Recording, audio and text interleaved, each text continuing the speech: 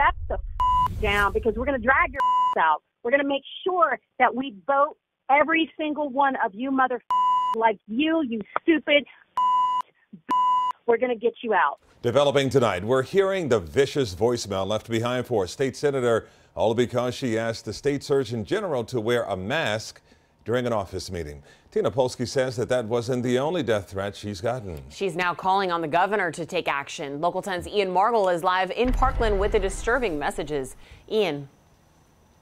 Senator Polsky has gotten several of these messages. Part, the one that you just heard is part of a minute long profanity laden tirade that ends with anti Semitism and a threat, basically telling the senator they want her dead. All I have to say is that you're a sorry.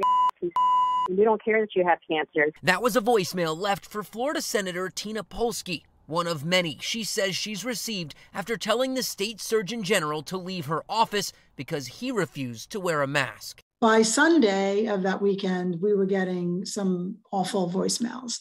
You know, I hope you die of your cancer was one of them. Polsky was diagnosed with stage one breast cancer in September. To keep her safe, they implemented a mask rule for her office in Tallahassee, and Polsky says everyone who's visited followed it until the new state surgeon general, Dr. Joseph Ladapo, asked for a meeting about two weeks ago. The surgeon general comes with two aides, and I asked him to put on a mask, and he won't. Eventually, she kicked Ladapo out. He later released a statement saying he doesn't find having conversations with a mask on to be, quote, productive, and that he can't communicate clearly and effectively.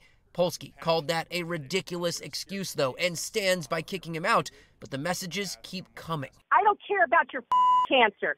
You go and you huddle with other people without a mask, but then you have a problem with a Republican. You, you piece of you Jew mother off and die. Now, Polsky is calling for Governor Ron DeSantis, whose wife just announced her own breast cancer diagnosis, to speak up and tell people to cut it out. And he's partaking in this hate and this vitriol. And so I think that he has a responsibility to speak out and tell people to stop this kind of vile behavior. So Polsky says her staff has really done their best to insulate her from these messages, but she says really she's just had to develop a thick skin and she wants the governor to speak about this, to speak out against it as soon as possible.